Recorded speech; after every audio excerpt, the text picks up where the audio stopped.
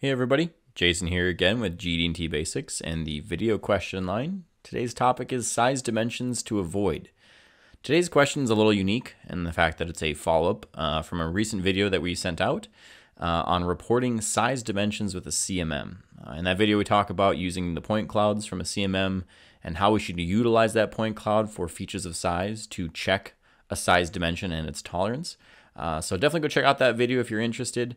Uh, but the question was, uh, I mentioned in that video that we can no longer locate the distance between stepped surfaces with a size dimension. So the question was, please explain why this is ambiguous and how to dimension it uh, and report this measurement to get the most direct tolerance between these stepped surfaces.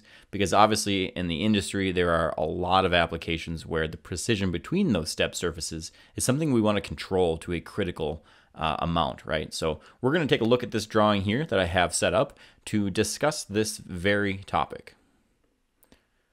So here we can see a sample drawing, uh, very simple drawing at that, but we see a stepped surface right here. Uh, and we are controlling that with a size dimension. Now, as I mentioned in the previous video, this is no longer quote unquote legal per the ASME Y14.5 uh, 2018 standard. They take a very direct stance and say that this sort of dimensioning between stepped surfaces uh, is ambiguous, and it is. The issue existed well before ASME pointed it out, but in 2018, they just take a stance and say, hey, stop doing this. Uh, it leads to too many ambiguous situations. There's much better alternatives, uh, and we'll go through those alternatives now and why this is ambiguous. So here we can clearly see the attempt that this bottom surface is being located to this top surface uh, you know, 0.565 plus or minus 15 thousandths.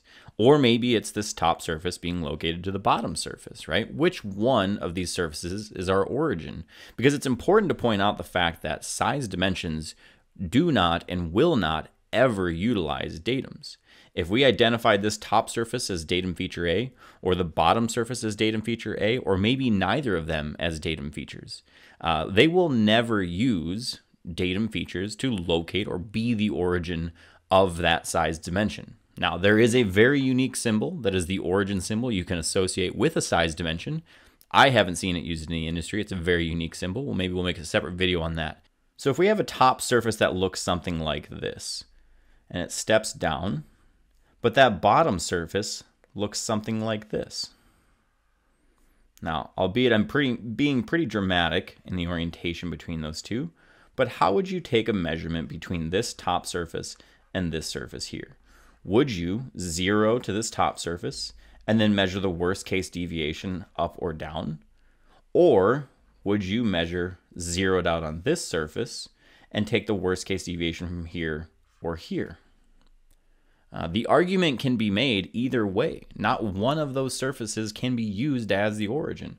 Or you might find some happy medium between the two and take the max distance between those two surfaces and any elements of them.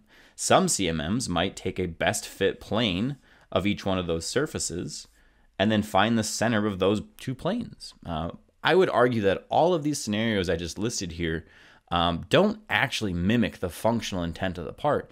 And in fact, they can be argued until you're blue in the face that uh, this is the way it's supposed to be inspected. There's no standard that supports that because in reality, it's also not just this, it might be orientation in and out of the page. And so now we have three dimensional error both location and orientation between these two surfaces.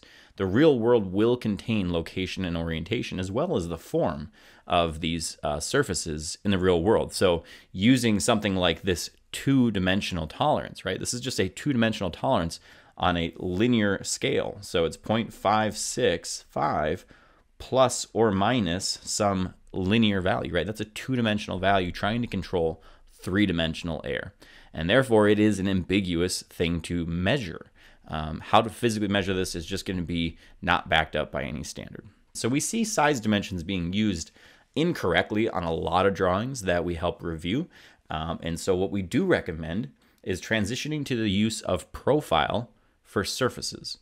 So for this example here, we see that we just dropped off the plus or minus 15 thousandths and made this a basic dimension. Now you remember basic dimensions don't have tolerances. So what in the world is controlling the location of this top surface? Well, if you see, we don't have profile of a surface applied directly to that top surface, but what we do have is down here in our unless otherwise specified tolerances, might be a little hard to read, but it says all surfaces profile of 0.030 to AB. Now we see that 0.030 to AB profile of a surface.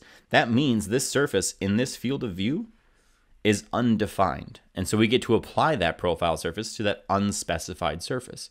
And so it'd be just equivalent to pop it in here and say profile of a surface 0.030 AB.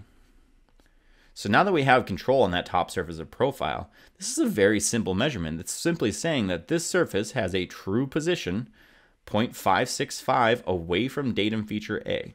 So now in the scenario where we might have had some orientation error between these surfaces, this is datum feature A. So we level to this surface and then we go up 0.565. That might exist right here. And now we have a tolerance zone of plus or minus 15 thousandths or a total tolerance, if you see it, 0.030 profile, right?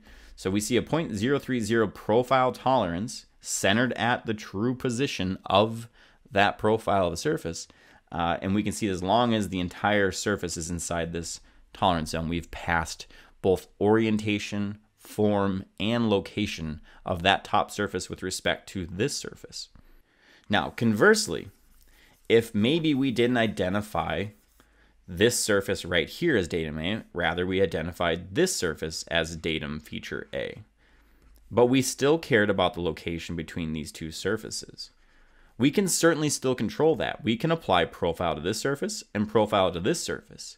And as long as they're back to the same datum reference frame, we have a reference frame of mind to work with. This surface can go up and down 15 thousandths, and this surface can go up and down 15 thousandths.